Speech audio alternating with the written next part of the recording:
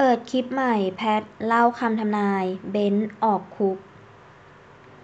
สวมกอดกันด้วยแววตาแบบนี้ เปิดคลิปใหม่ แพทนภพาเล่าคำทำนายถึงเบ้นพร้อมคุยเรื่องการเลี้ยงลูก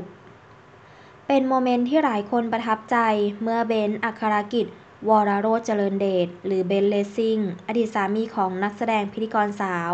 แพทนภพาตันตระกูล ออกจากเรือนจำโดยมีแพทและน้องเรซซิ่งลูกชายไปรอรับ ซึ่งในไอจีของนับชัดธนันหลานสาวของแพทได้โพสต์คลิปตอนที่แพทเบนซ์และน้องเรซซิ่งนั่งคุยกันตามภาษาพ่อแม่ลูกและถ่ายรูปด้วยกัน พร้อมทั้งใส่เพลง ดาวหางฮัลเลย์ เขียนแคปชั่น น้ำตาฉันไหลแบบบอกไม่ถูก ในขณะที่เจนจินดา เพื่อนสนิทของแพทได้โพสต์คลิป เล่าข่าว เบน เลสซิ่ง ได้เจอแพท น้องเลสซิ่ง ก่อนที่จะเผยภาพที่ไม่ได้ออกสื่อ คือภาพแพท น้องเลสซิ่ง ไปรับ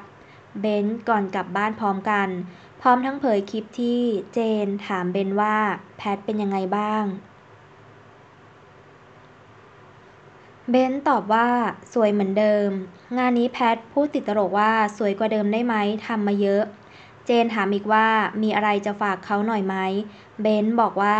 ครับผม ดีใจดีใจ ก่อนจะเผยโมเมนต์น่ารัก พ่อแม่ลูกกอดกัน และเบนบอกว่าฝันดี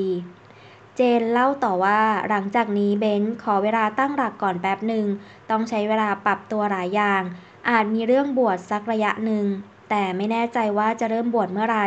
ส่วนเรื่องการเลี้ยงดูน้องเลสซิ่ง เริ่มมีการคุยกันแล้วว่า ในหนึ่งสัปดาห์จะเอาลูกมานอนกับคุณพ่ออาทิตย์ละกี่วัน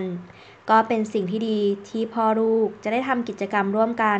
ทางฝั่งคุณย่าเขาก็เอ็นดูและคิดถึงน้องเลสซิ่งมาก ๆ กับเรื่องความสัมพันธ์ระหว่างแพทน้องเลสซิ่งเบนจะเป็นยังไงต่อ คงต้องรอติดตามความคืบหน้าต่อไป เพราะมันเป็นเรื่องคนสองคน เราเป็นเพื่อนสนิทก็บอกว่าจะตัดสินใจอย่างไรก็แล้วแต่เลย เพราะรู้ทางแพท